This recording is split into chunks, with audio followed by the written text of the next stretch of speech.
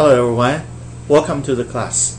From this week, we'll start talking about uh, data analytics by using Python. In this lecture, I want to introduce uh, two concepts to everyone. First, I want to introduce pandas library to everyone. This is a built-in library for business analysts to perform data analytics in Python. Second, I want to introduce a cloud computing platform called uh, Jupyter to everyone. Let's talk about uh, pandas first. Python is a very powerful system. You can use it to develop uh, games, web pages, or perform data analytics. But before you develop applications for your needs, in addition to the Python program, you want to install some uh, external libraries or functions so that your programming codes will not only understand the Python codes, but also understand the specific codes for your applications.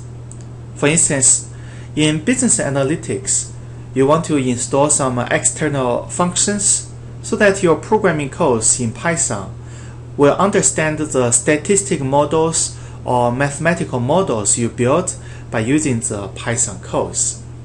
You have uh, several options, but uh, the most popular external library is Pandas.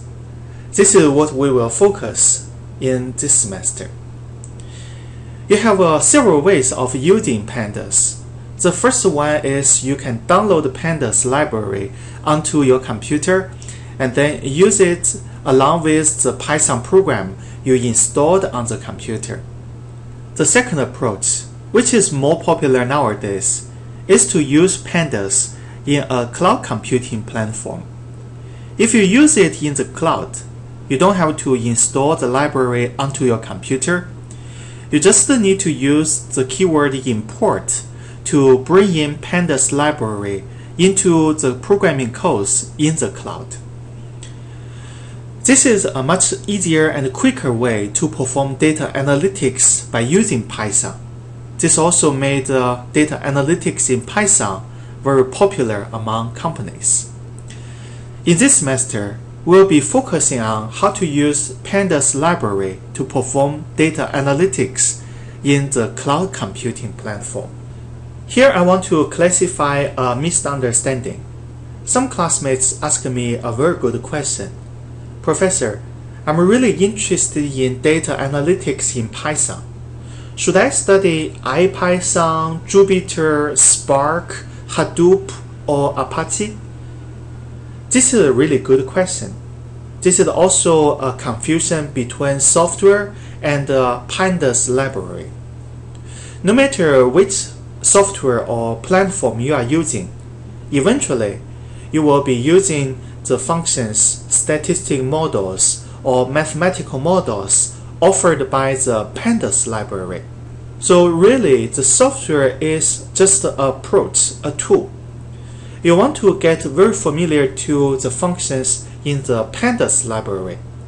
So in the future, if you change the software or platform, you can still use the functions offered by the Pandas library. This is something I want to classify before we move forward. As I just mentioned, a business analyst can choose different platforms or systems to use pandas to perform data analytics.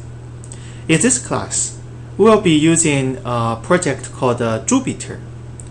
Jupyter is a cloud computing system for performing data analytics by using a variety of programming languages.